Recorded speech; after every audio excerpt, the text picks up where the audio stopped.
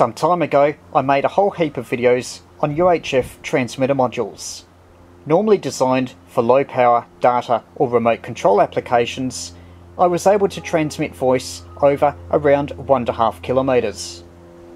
With such good results from the transmitter, I thought I'd try to see if the receiver could be used for a similar purpose. Here's a test jig I made up from parts of a dismantled receiver.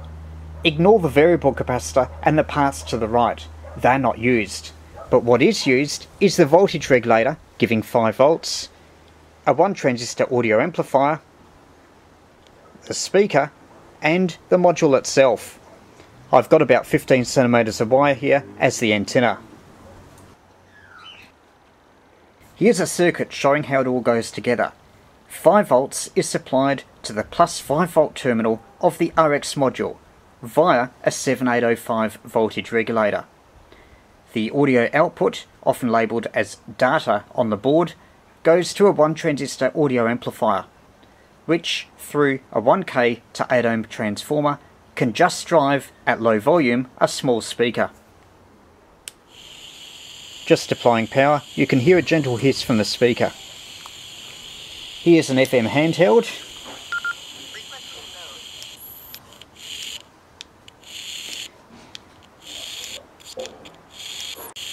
Although these receiver modules nominally operate around 433.9, they're actually broadbanded. How broadbanded? Well, I'll just see if I can get quieting over a wide transmit frequency range. Here I'm on 433.925. It still goes quiet at 433.825. and I go above 434 and it's still picking stuff up. In fact, it's at least 500 kilohertz broad.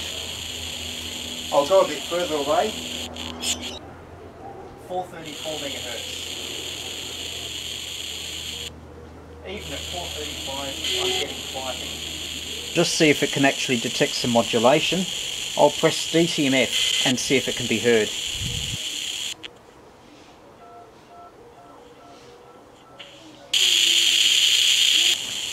What I'll now do is I'll go down the street using a 1 watt handheld and see how far I can get. I'll press the PTT in a distinctive way so you know that it's me and not some other signal.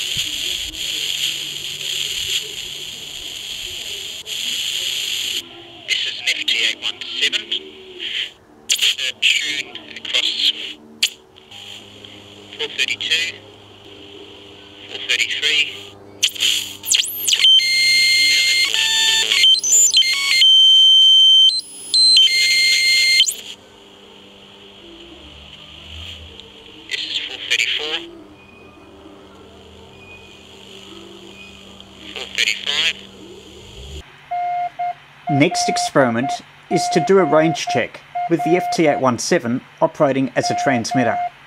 This time transmitting modulated CW on 434 MHz.